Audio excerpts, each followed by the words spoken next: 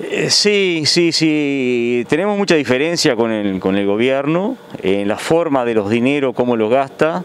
Este, yo tengo el cometido de tener, este, la, eh, controlar las actas y mire que hay cosas que sorprenden pero estamos sobre todo por encima de eso. Creemos que es una oportunidad para la gente, es un momento malísimo, la pandemia está en, lo peor y bueno, eh, hemos este tipo cerrado los ojos y, le vamos a dar para adelante porque entendemos que la gente es lo que está necesitando.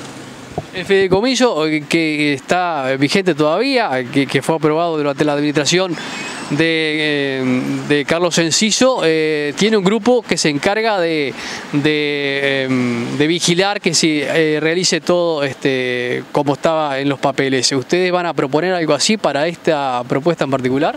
Nosotros, en lo personal, porque aún no, no, no está definido, y creemos que eh, nos brindan la posibilidad de una persona, creemos que por lo menos tenemos que tener dos personas que estén siempre trabajando y, viendo cómo se, están haciendo las cosas, que creemos que tenemos que tener por lo menos dos suplentes también, porque a veces puede ser que se genere una reunión por Zoom y otra reunión en presencial, y bueno, tenemos gente mayor en la, en la bancada de Diles que que, bueno, que están con miedo, o sea, por lo que está pasando no, no escapamos de la realidad.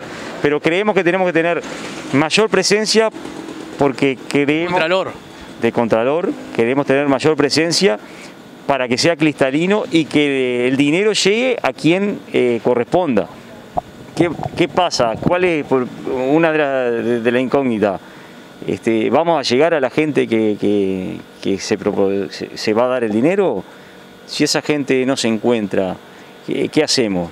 Me parece que tenemos que, hilar fino y estar eh, a la altura y sí, el Contralor eh, tiene que estar, pero precisamos más gente de, la oposición. Este, ya te digo, nosotros, por lo menos en lo personal, que tiene que haber dos personas del Frente Amplio y así como el Partido Colorado también. Eh, lo más amplio posible. Eh, igual, igual pueden de ser de los dos lados, pero tiene que haber un contador para que se haga lo que se escribió en la letra chica y en el acuerdo que estamos haciendo. Este, ya ha pasado en otras ocasiones que no ha sido respetado por distintas razones y bueno, eh, vamos a trabajar, como le estaba eh, contando, este, vamos a, cerrar los ojos, vamos a darle para adelante, pero esperemos que no nos falle el gobierno. Una más. Fabián González, el edil del eh, Partido Comunista de la 90.001, eh, dijo que le indignaba que un aporte de 2 millones de pesos por cuatro meses a la confección de frazadas tercerizadas y 600 mil pesos a la contención de personas en situación de, discapacidad.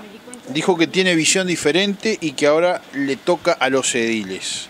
Que no es por la galería y que la foto es linda, pero que la responsabilidad es diferente públicamente, ¿no? Es una publicación de, Facebook. ¿Qué opinión le mereces?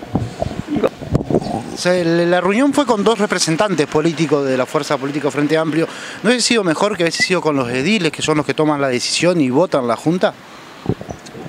Nosotros no nos oponemos a que eh, la reunión sea con, quien corresponda. Eh, sabemos que el tema llegó a la Junta, fue presentado el viernes en una, en una este, reunión que hubo, que fue donde nos, enteramos. Ahora este, anoche nos llegó este, los detalles concretos. No, no, no lo veo malo, no lo veo malo. Este, cuanta más gente involucrada esté, veo que es mejor, porque la, opinión de, uno y de otro genera un ámbito muy rico y donde se aprende mucho y se genera mucha cosa.